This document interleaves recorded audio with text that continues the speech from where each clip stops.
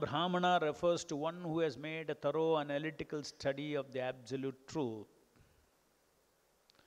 and who knows that the absolute truth is realized in three different phases, namely Brahman, Paramatma, and Bhagavan. If someone not only has this knowledge but is able to clear all his doubts if questioned about the absolute truth, he is considered better. Further, there are many a learned Brahmana Vaishnava who can explain clearly and eradicate all doubts. But if he does not follow the Vaishnava principles, then he is not situated on a higher level. One must be able to clear all doubts and simultaneously be situated in the Brahmanical characteristics. Such a person who knows the purpose of the Vedic injunctions, who can employ the principles laid down in the Vedic literatures, and who teaches his disciples in that way is called an Acharya. The position of an Acharya is that he executes devotion service with no desire for elevation to a higher position in life. The highest perfectional Brahmana is a Vaishnava. Vaishnava who knows the signs of the absolute truth but is not able to preach such knowledge to others is described as being in the lower stage, one who not only understands the principles of signs of God but can also preach as in the second stage, and one who not only can preach but who also sees everything in the absolute truth and absolute truth in everything is in the highest class of Vaishnavas. It is mentioned here that a Vaishnava is already a Brahmana. In fact, the highest stage of Brahmanical perfection is reached when one becomes a Vaishnava. Thus ends the Bhaktivedanta purport. So, Lord Kapila is further explaining different levels of advanced Brahmana among human beings, the society which is divided according to quality and work is best, and in the society, the intelligent men who are designated as Brahmanas are best. Among the Brahmanas, one who has studied the Vedas is the best. Among the Brahmanas who have studied the Vedas, one who knows the actual purport of the Vedas is best. Better than the Brahmana who knows the purpose of the Vedas is he who can dissipate all doubts, and better than him is one who strictly follows the Brahmanical principles. Better than him is one who is liberated from all material contamination. Better than him is a pure devotee who executes devotional service without expectation of reward. So we see how progressive development of one's consciousness happens, especially in a Brahmana, up to the point of elevating oneself into a pure Vaishnava. As Prabhupada says, the highest perfectional stage, highest stage of Brahmanical perfection is reached when one becomes a Vaishnava. So becoming a Vaishnava means not just putting tilak and putting dress and getting diksha. Becoming a Vaishnava means to understand the absolute truth as is described here, to understand that everything is absolute truth and everything is in absolute truth and absolute truth is in everything. We have been discussing over the past few verses how Lord Kapila is developing the understanding that the Supreme Lord, how the living entities are one with the Supreme Lord, and how the material energy, the Jiva energy, they are all different energies of the Lord.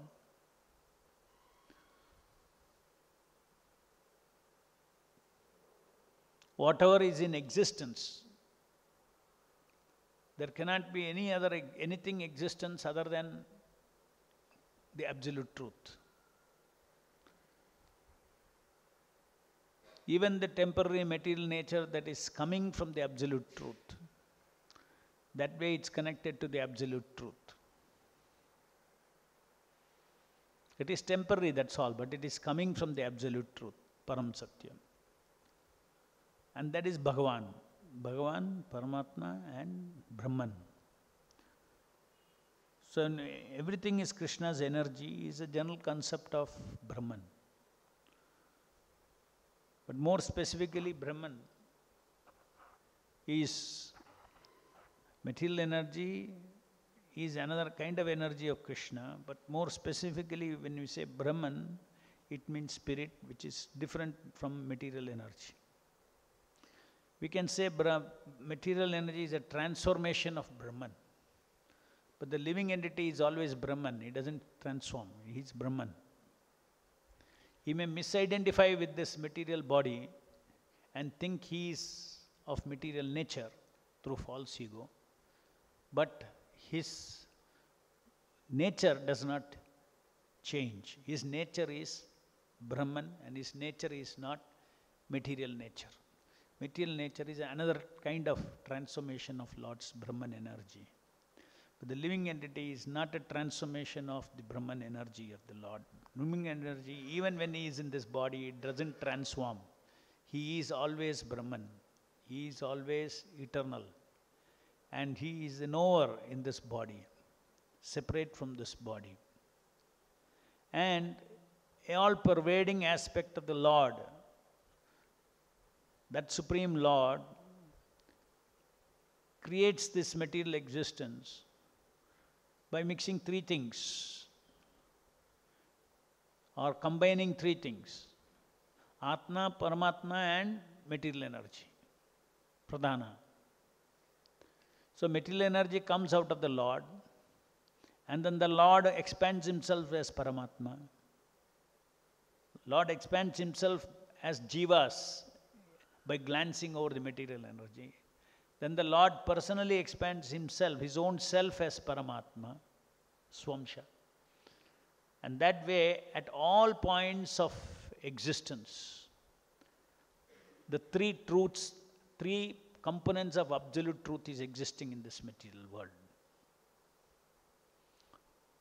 Even though Bhagavan is in the supreme world, supreme in the, in the spiritual planet, but because he is a source of everything, he is connected to everything beyond time, space, and substances.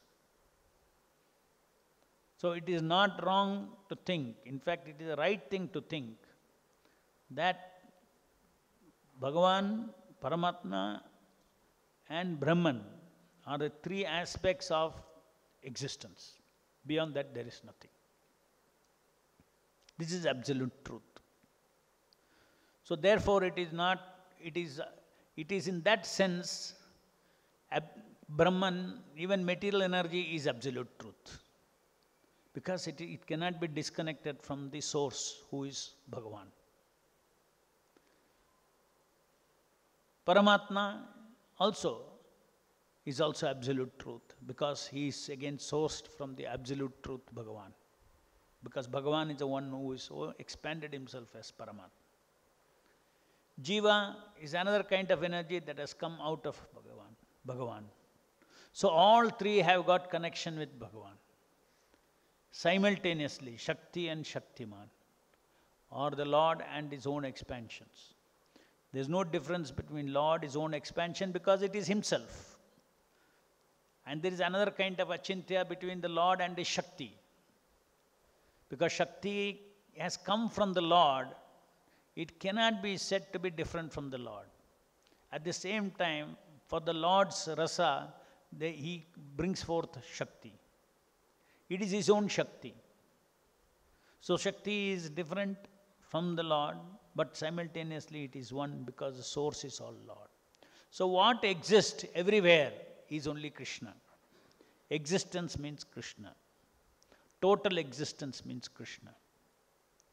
And what is being taught to us in Srimad Bhagavatam is we as living entities are of the nature of Bhagavan. The nature of material energy is different, the nature of, it's another kind of energy, whereas our nature is different. Our nature is we are one with, in quality with God. We can think, feel, and will.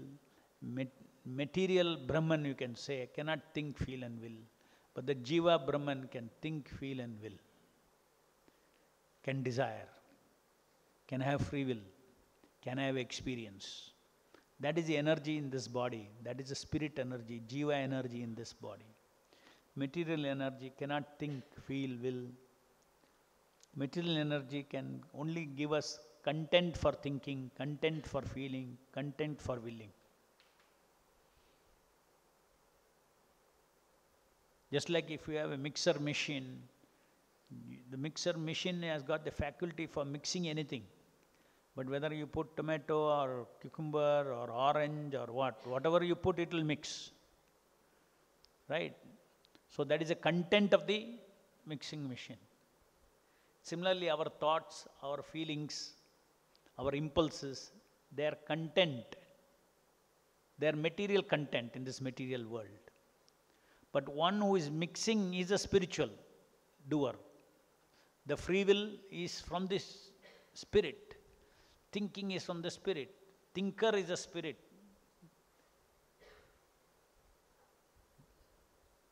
Feeler is a spirit. The doer is a spirit. The identifier is a spirit. But the identity which you generate by identifying is not spirit. Just like I am this body, is identity that is generated out of identifying potency of the jiva. So identity is transient, which is in the material world. So that is matter. So in this material world, by simply by identifying with matter, we are living somebody else's life.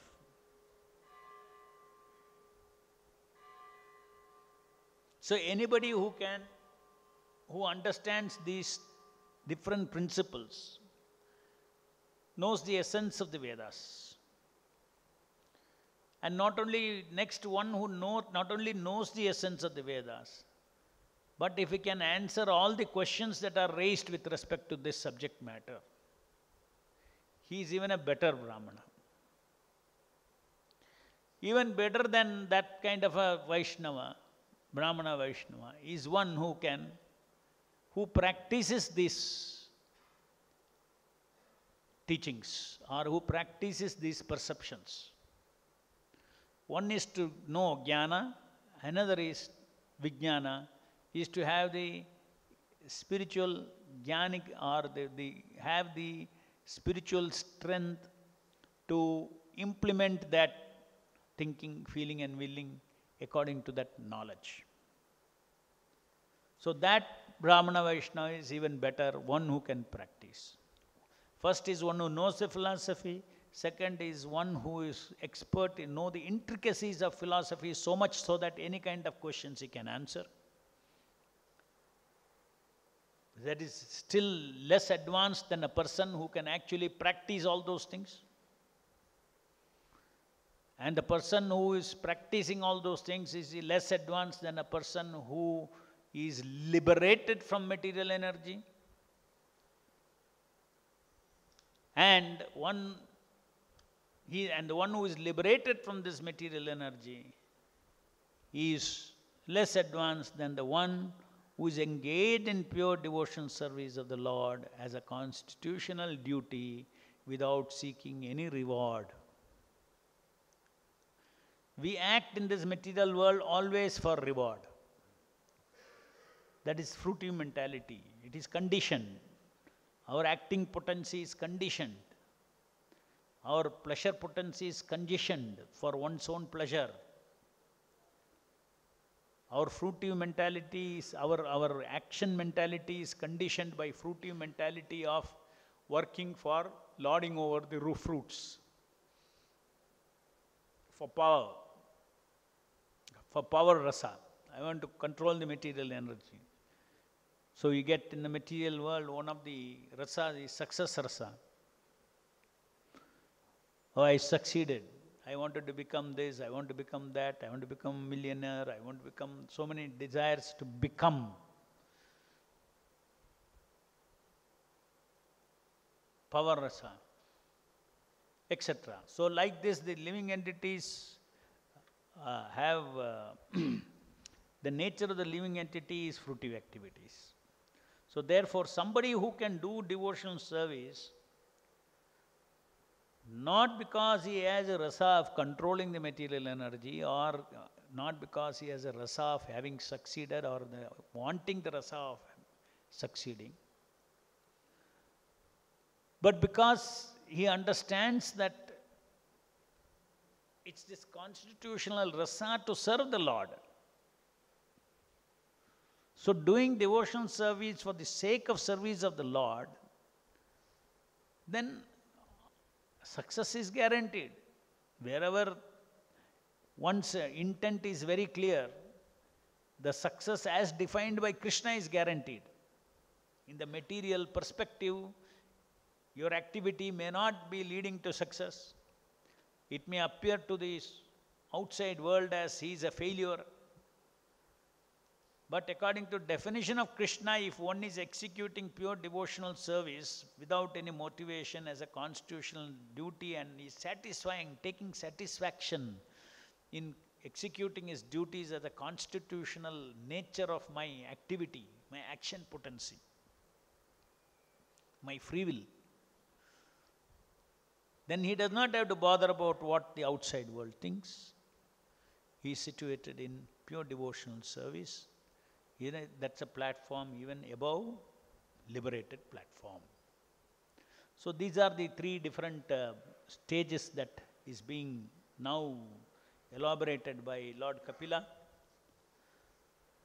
And by going through these various, and of course the person who has all these things, who is liberated, who executes pure devotion service, who knows the Shastras, who can answer all questions from the Shastric point of view, he is called an Acharya. And this is an Acharya's position. Because he sets example, I mean, all his activities are in according to his realization. All his jnana has got realization, has got as, as every, every knowledge that he has got has a powerful perception of separating matter and spirit and he identifies with the liberated mukta means he's liberated from the material identification.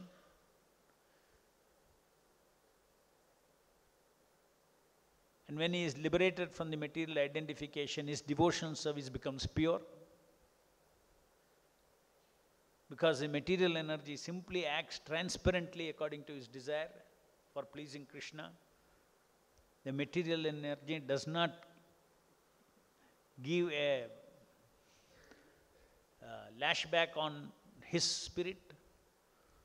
His spirit influences matter, matter does not influence his spirit. This is the stage of an acharya, this is the stage of a pure devotee of the Lord.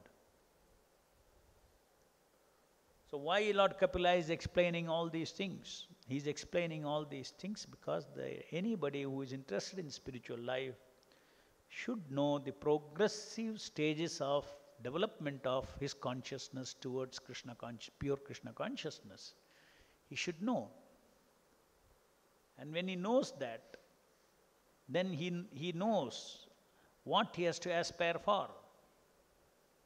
From stage 1, I had to go to stage 2, stage 2 to stage 3, stage 3 to stage 4, I had to move forward. Stage 1 is hearing Bhagavatam, hearing this knowledge. That means to know. After knowing, it has to be practiced.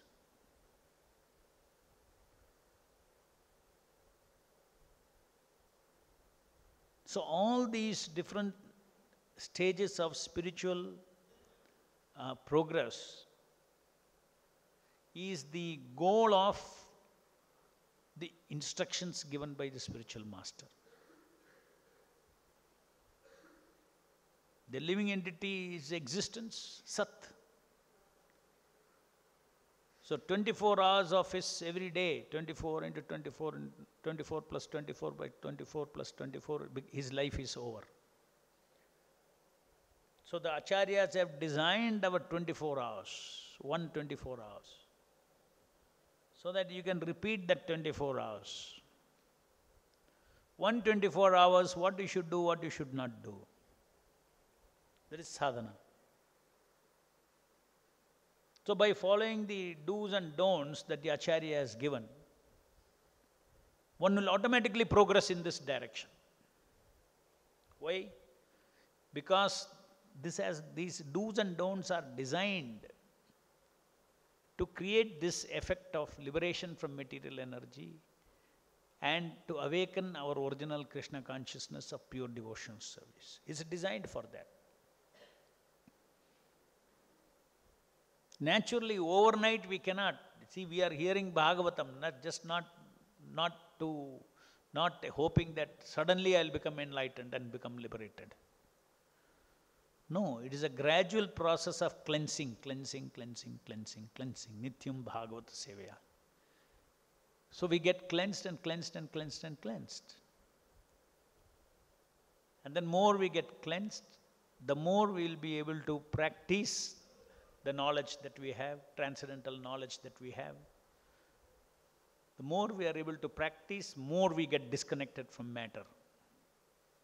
Because our attention, our, our, our connection to matter is by activity. That is karma. By our gross and subtle activities, we connect ourselves to matter or we bind ourselves to matter because every action has a reaction. So we bind ourselves to material energy through our action. Liberating is also through our action. When we act in such a way, we act for the pleasure of Guru and Krishna, and we don't act for this bodily identification.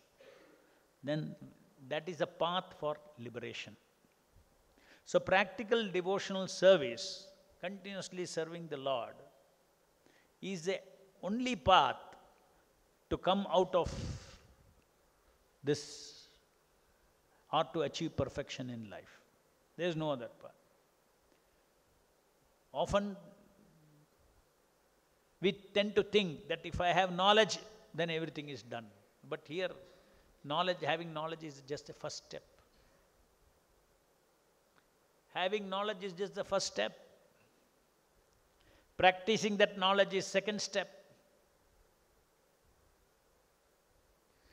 By the result of perfect practice, liberating oneself from material energy is third step.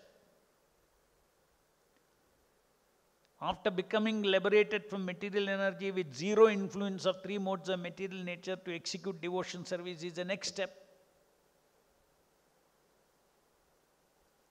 So, knowing, just knowing some things is not, knowing Krishna conscious philosophy is just the beginning step.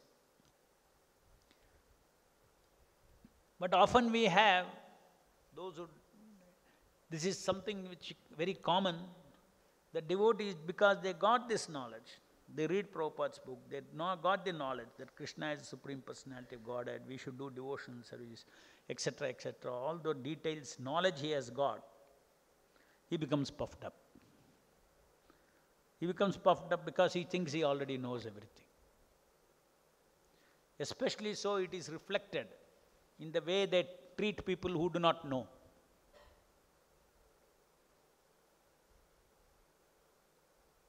At some time, we also did not know. And some nice devotee showed some compassion on us. If that devotee had, had uh, instead of showing compassion, if he had uh, attacked me, saying that, hey, you don't know anything, you are all useless, oh, then he would have left the, he would have never become devotee. Is it not? Isn't it very common? New devotees, suddenly they get Krishna conscious knowledge, they become so puffed up, they think they're on the top of the world. They insult everyone, they pull down, look down upon everybody. This is a very common disease among many devotees who just become good in Shastra and all, they learn, then become very arrogant. Arrogant is the right word. A kind of intellectual arrogance comes in the devotees. We have to cross that stage. By Prabhupada and Krishna's mercy, we know something which they do not know.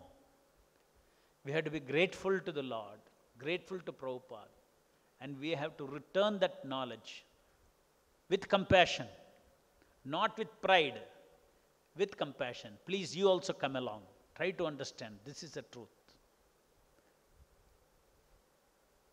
So, this progressive stages of realization which we are talking about stage 1, stage 2, stage 3, stage 4 is not that stage 1 means you are, you know, your stage 2 means you are more puffed up than stage 1, stage 3 means you are more puffed up than stage 2, stage 4 means you are more puffed up than 1, 2, 3 stages. Rather, it is ulta.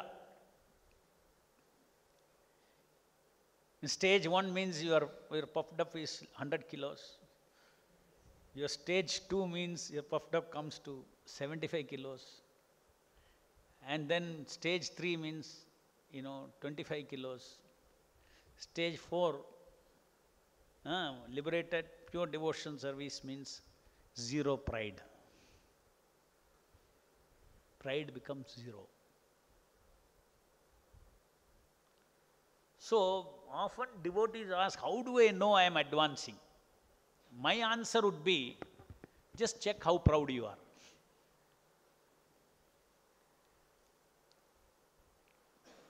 How proud you are, how will, I, how will I know how proud I am? Just see how you behave with others. In different situations, how you treat others, how you behave with others. Do you represent a Vaishnava's compassion? Do you represent Prabhupada's compassion? Do you represent Krishna's thoughts, Krishna's love? Do you represent that when you encounter someone? And that should be our constant effort. So effort to advance, or effort to advance means, as it is said, Vijnana is to practice. Everybody is part and parcel of Krishna, everybody is, is, is spirit. And then ultimately, to get freed from this material entanglement, because pride is connected to lording over. That's our disease. These are all highly interconnected. The attitude to lord over and pride are together. So the lording tendency has to go, then pride will go.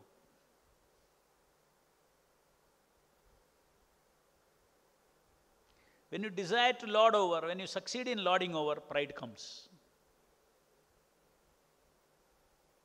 So you should not desire to lord over at all, so the pride doesn't come even.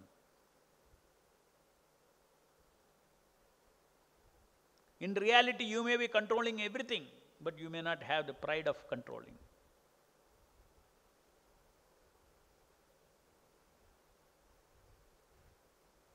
Small, small things we control, how much proud we become. Imagine demigods are controlling so many things. they should become so proud. Then now and then they become proud. The history shows, Puranic history shows. And Krishna teaches them because they are his representatives.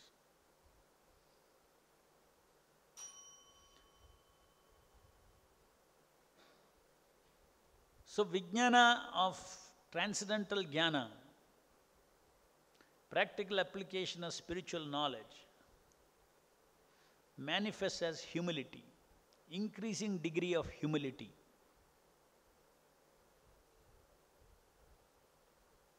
Humility is a self perception of who he is. I am a fallen servant of the Lord, which is a correct definition. How can a fallen man ever be proud? if you know that I am fallen, how can you be proud? Then you must be mad.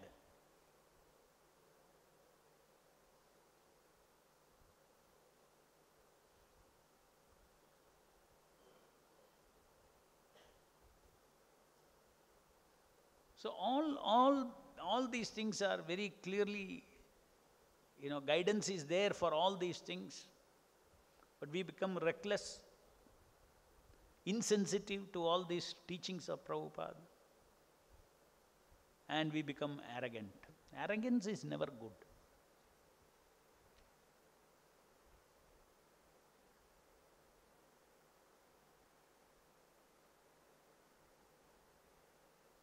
One should never preach with the arrogance that I know more than you know. One should preach with the spirit that my Guru knows more than you know, and I'm therefore I am talking to you. Srila Prabhupada knows more than you know. So I am speaking to you what Prabhupada has spoken. Then one will not put the seed for pride.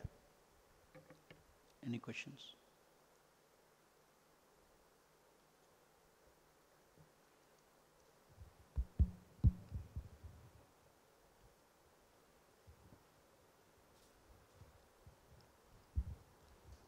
Hare Krishna, Prabhu. Uh, Prabhu, uh, in the starting of the lecture, you made a statement that, uh, as, as we say that Sarvam Vedam Khala Brahman, now this matter also is Brahman. Now, material Brahman cannot think, feel, will, and spiritual Brahman can think, feel, will, as we do. Little distance. Uh, distance. distance. Uh, material Brahman cannot think, feel, will. Huh? Material Brahman Ah. means cannot think, feel, will.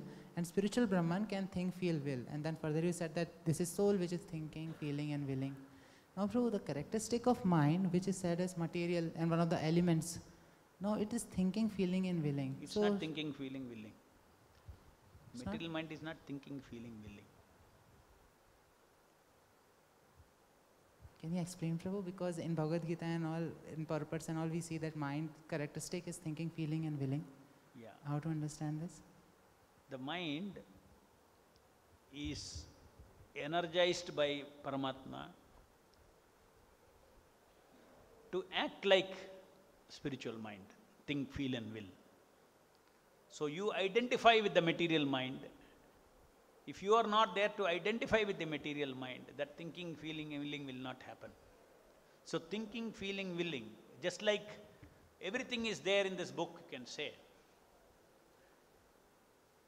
But actually, what is there is what? Paper and ink. But when I read it, I have meaning. Right? So, only everything is there, only I am required. Then meaning comes. Similarly, mind is also like this printed ink and paper and all that. It's a configuration of matter, subtle energy. Intelligence is another kind of subtle energy which has a different function. Ego, false ego is another energy which has got, these are all material elements. When they're all functioning together in the presence of soul and super soul, it will appear that my mind is thinking. But actually, I have given, the, my spiritual mind has given power of attorney to my material mind. What material mind says, I say yes. What my material intelligence says, I adopt. So I adopt everything that, that is, you see, you have a identified life. Your present mind is not your mind. Your present mind is a mind which you have identified with. To identify, it has to function like a mind. Then only you will say, right? Otherwise, it will appear dead. Dead matter you will not identify with. Isn't it? Just like this body, he is walking like a, is working like a live body. Therefore, you identify, "Ah, I am this body. But who is making this body work like a live body? Paramatma. Mata smriti jnanam apohanam cha. That is the meaning. He gives knowledge, remembrance, and forgetfulness. Doesn't mean that he is giving, he is controlling memory. It means a very fun foundation of knowledge, awareness of material energy, awareness of details of material energy is coming from the Paramatma, that ability, that ability. So, it is, uh, material energy is prakriti kriyamanani gune karmani sarvasha ahankara vimudatma kartaham iti manyati everything is being done by the material energy and you are there and identifying. And using your free will. Your free will is your absolute free will, even in this in an identified stage. But it is in a haunted stage. Just like if you see, you watch a TV, you watch a movie, entire movie you are watching. So many things are going on in your mind. Hero, villain, heroine, this, that, the plot of the story. You are fully involved in it, right? So many details, so many personalities. You are in the movie world, correct? But are you in the movie world? You are outside, no? You are outside, isn't it? So this is what prakrite kriyamanani gune karmani sarvasha. That that means it's all happening in the TV screen. In the same way, all the things in this material world are happening in this TV screen of three-dimensional gross and subtle, gross and subtle energy. It's a that's why it is, a, it is a, we can only pro- reproduce, manufacture TVs and robots, but Krishna can manufacture robots like this, which look like, work like Satchidananda systems. So small, you all to the end you go, and then you need spirit to make it what it is. Otherwise, it is all dead matter. That is why Krishna considers these five material elements, three subtle elements, to be of his inferior energy.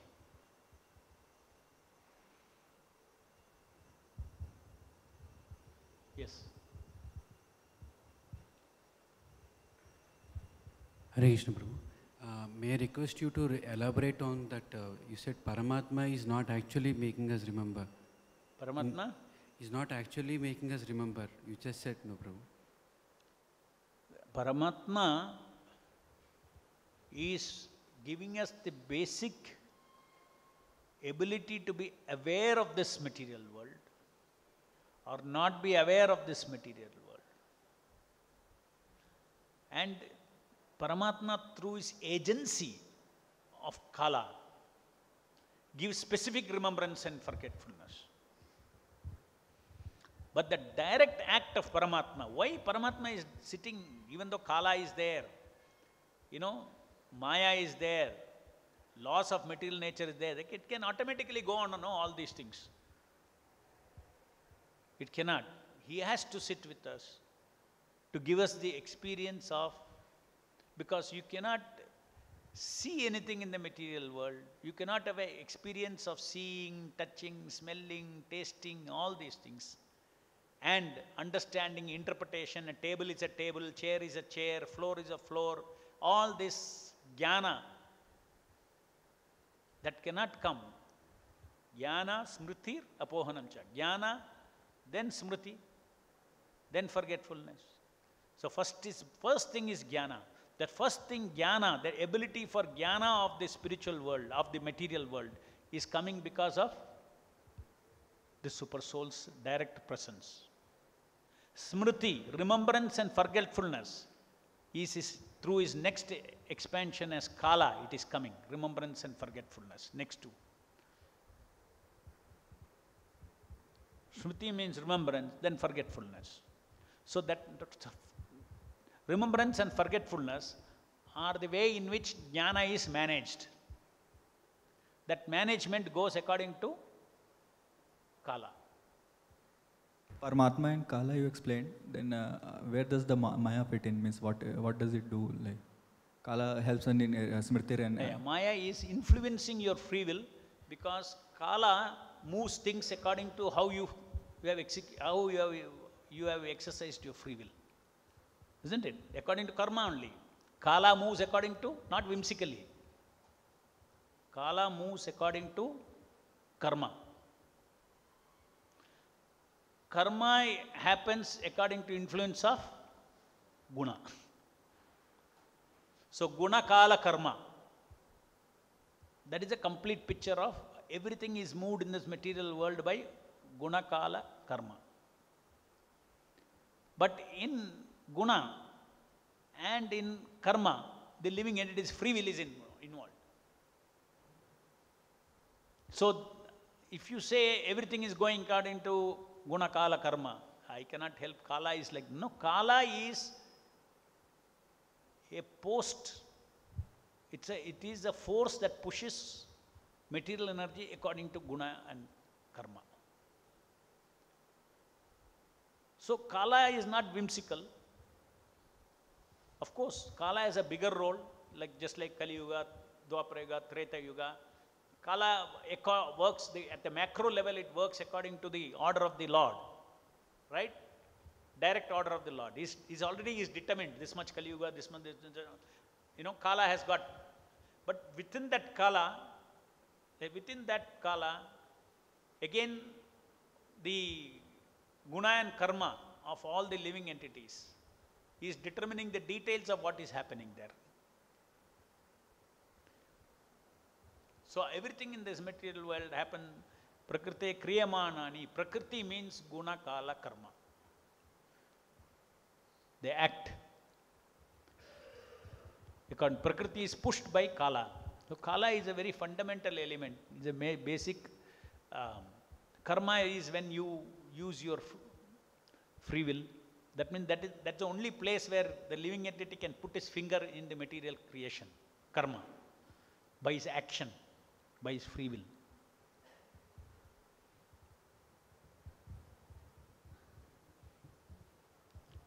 जय ग्रंथराज श्रीमद भागवतम की जय जगत गुरु श्रील प्रभुपाद की जय